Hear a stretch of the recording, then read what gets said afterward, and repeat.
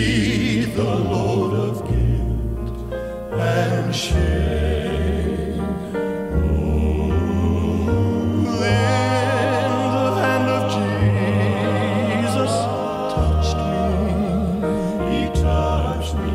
And now I am no longer the same. For he touched me.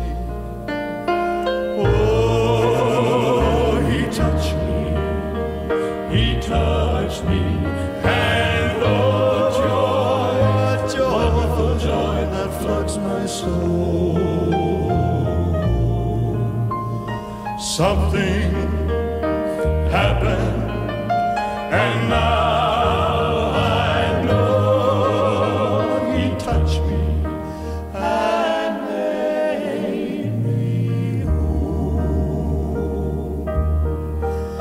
Oh, since I met this blessed Savior, and since He cleansed and made me whole, oh, I'll never cease, never cease to